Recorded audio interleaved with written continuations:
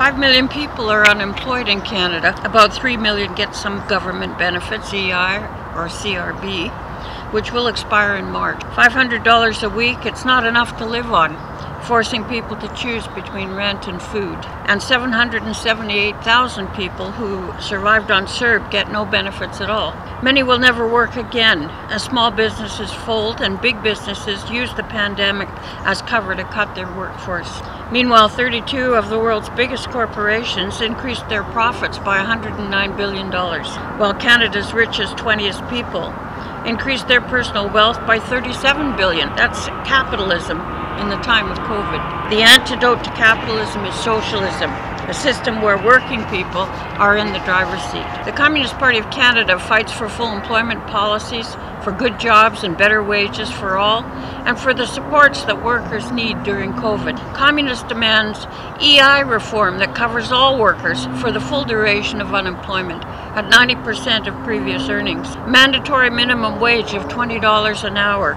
increased pensions at age 60, a guaranteed annual livable income, an end to evictions, foreclosures, and utility cutoffs due to unemployment, strike, or lockout, PPE and pandemic pay for all frontline workers, plus 14 days a year of paid sick, sick leave. Canada is a resource-rich country.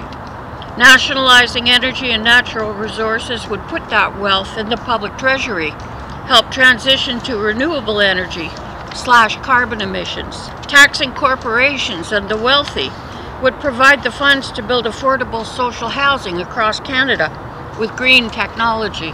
Ending corporate bailouts could launch a universal quality public childcare system, expand Medicare, and end student debt. Cutting military spending would fund expansion of value-added manufacturing and secondary industry. Pulling out of corporate free trade deals would protect jobs and our food supply. For real change, we need a people's coalition to fight for a people's agenda and a people's recovery from COVID and capitalist crisis.